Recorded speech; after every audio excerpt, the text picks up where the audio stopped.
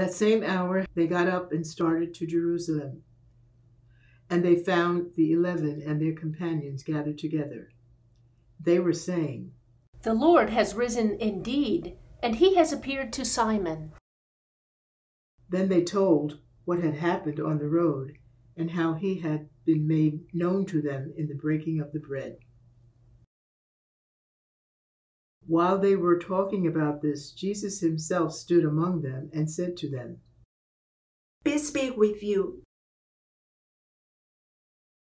They were startled and terrified and thought that they were seeing a ghost. He said to them, What are you frightened? And why do doubts arise in your hearts? Look at my hands and my feet. See, it is I myself. Touch me and see. For a ghost does not have flesh and bones, as you see that I have. And when he had said this, he showed them his hands and his feet.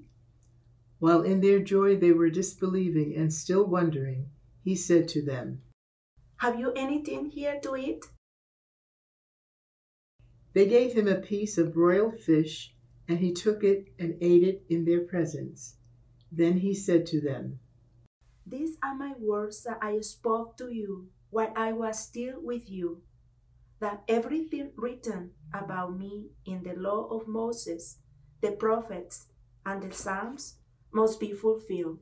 Then he opened their minds to understand the scriptures, and he said to them, Thus it is written that the Messiah is to suffer and to rise from the dead on the third day, and that repentance and forgiveness of sins is to be proclaimed in his name to all nations, beginning from Jerusalem. You are witnesses of these things.